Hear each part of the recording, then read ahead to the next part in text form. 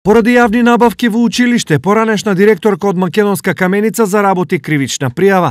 Таа во намера да избегне распишување на тендери и законски да ја спроведе постапката за избор на најдобар понудувач, набавките ги цепкала на помали делови, па добувувачите на место преку тендери ги бирала таа.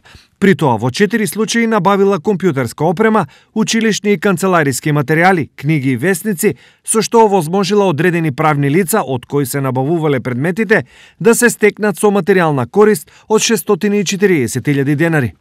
Надворешната канцеларија за криминалистички работи Делчево поднесе кривична пријава против ЛАД, 52 годишна од Македонска каменица, поради постоење основи на сомневање за сторено кривично дело, злоупотреба на службената положба и овластување.